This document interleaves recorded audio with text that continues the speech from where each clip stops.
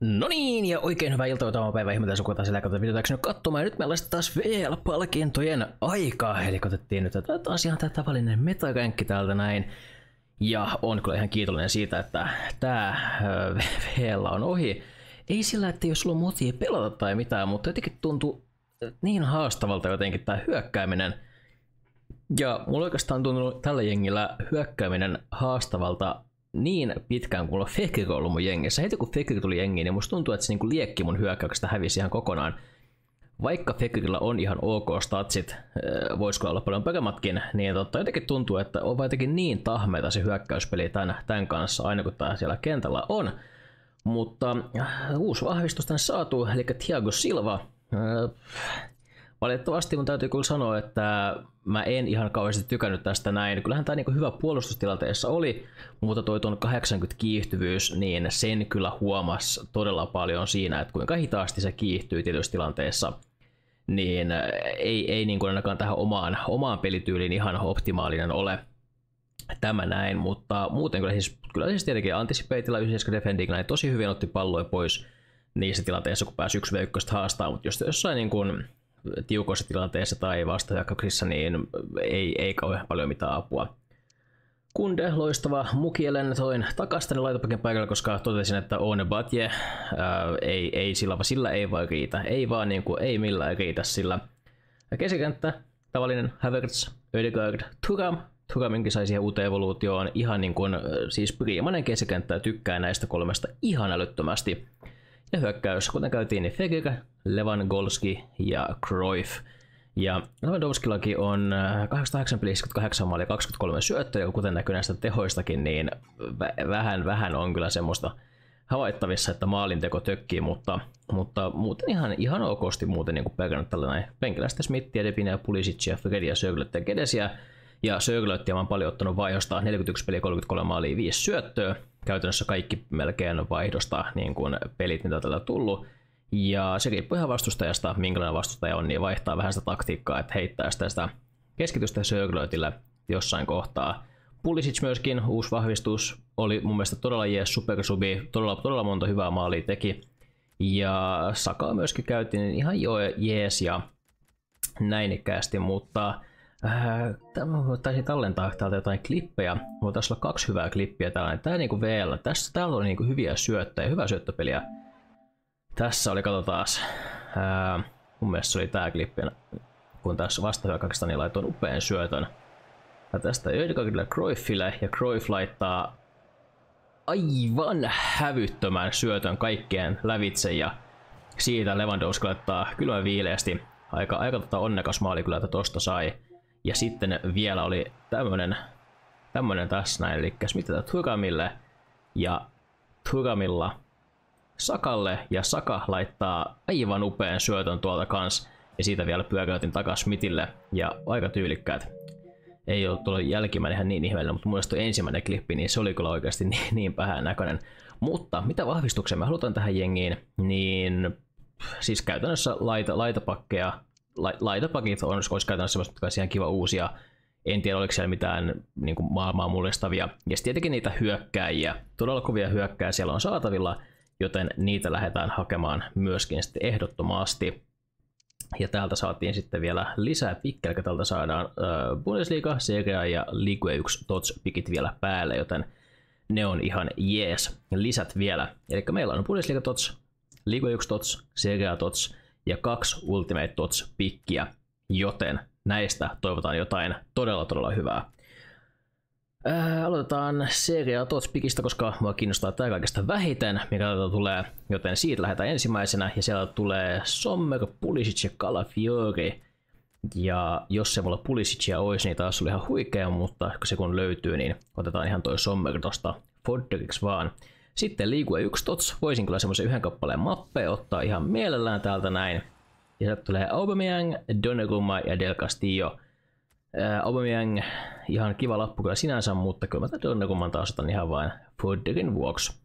295 tullut täältä jo ihan jees. Ja nyt yksi kolmesta Bundesliga Tots. Anna se Royce. Royce. Mä haluan sen mun klubiin. Mä haluan Roycein mun sakkiin. Please. Please. Anna Royce. Sieltä tulee kaksi Dortmund-pelaajaa, mutta ei Turkoissia valitettavasti. Otetaan Jadon Sancho tosta noin. Täällä Sanchon pelipaitakin täällä takana roikkuu kuten aina. Mutta 295 194. Ja sitten me päästään siihen huippuhetkeen, mitä tässä on odotettu. Eli 1 394 plus Ultimate Champions Ultimate Team of the Season. Mä en yhtään tiedä mitä odottaa näistä, mä en ole vielä kenenkään nähnyt avaavan näitä pikkejä. Pelasin tosiaan saman tien kun VL aukesi käytännössä tämän putkeen, joten en tiedä, en tiedä onko nämä kuinka mehustettuja ja mitä täältä yleisesti tulee. Ja ylipäätänsä mä en edes muista ulkoa, mitä siellä Ultimate Totsissa sitä pelaajia on. Joten siitä lähtee ensimmäinen. Please, anna jotain hyvää. Please. Oh, yes, yes, yes. Van Dijk, Van Dijk. Let's go, let's go, let's go, let's go, let's go. Let's go. Van Dijk. Ai saakeli, mikä nosto sieltä saman tien. Pelin paras toppari ylivoimaisesti siinä tulee olemaan pelin loppuun asti. Van Dijk, kuinka paljon täällä on hintaa? Neljä miljoonaa. Tän hinta on tullut aika paljon alaspäin kyllä, mutta neljä miljoonan totsi Van Dijk ja siitä niin. Huh heija. Huh, huh heija. Sillä ei ole mitään väliä mikä tää toinen on. Van Dijk on ihan massiivinen W. Ja siitä lähtee toinen. Come on, mitä sieltä toista tulee? Ja Grimaldo siihen päälle vielä, let's go, let's go, come on, come on. Mä niin kun käytännössä, siis mä halusin niitä laitopakkeja, mä halusin laitopakkeja, ja mä olin melkein sanonut, että mä haluan topperin myöskin, just sen takia, että mä en ihan älyttömästi noista kahdesta, niin kun, tai tykkään kyllä, mutta en silleen niin kun, on, on mun mielestä niin kuin, haluan parempiakin, mutta Grimaldo on just se, mitä mä halunnut niin hälyttömästi. Nämä on aivan sairaat pikit, aivan sairaat pikit, come on. Vamos. Paljon Grimaldo on. Grimaldo on. Äh, Grimaldo on 443 k. Vitsi, tämänkin hinta on tullut paljon alaspäin, mutta silti aivan valtava tupla V. Van Dijk, Grimaldo. Wow, wow. Mä sanoin 11 voittoa on se meta ihan oikeasti, te ette usko sitä. nice. Let's go. Ah. Sitten meillä on vielä paketit jäljellä. Wow, wow, wow. Ei voi muuta sanoa kuin hattua nostaa. Alright. 75 vitonen siitä ensimmäisenä pois alta. Sieltä ei pitää sen kummempaa tule, sitä en odottanutkaan. Ja sitten, sitten, sitten, sitten 50k-paketti, otetaan semmonen täältä näin seuraavaksi. Täältä ei kyllä, niin kuin, en kyllä odota enää yhtään mitään nostoja. Tämä oli kyllä, tämä oli kyllä niin kuin aika, aikamoinen lopetus tähän Team of the Seasoniin. Aikamoinen, aikamoinen jymypaukku. Ja mä toivon tosiaan, että teilläkin käy yhtä hyvä tsäkä ja te saatte jotain, mitä te olette halunnut, halunnut tuolta Ultimate Totsista. Mutta toi oli aika reisiä. Ja tosiaan kauhealla ja duplikaatteja. Ja sitten mennään. Meillä on kaksi isompaa pakettia vielä joten toivon elää, että sieltä sinistä saadaan. 82 tradable ja sieltä ei tule meille sinistä, mikä nyt on ihan odotettavaa. Ja sieltä tulee bronze ja Hyth. Ja viimeinen paketti. 87x4. Näytä meille sinistä. Come on, sinistä!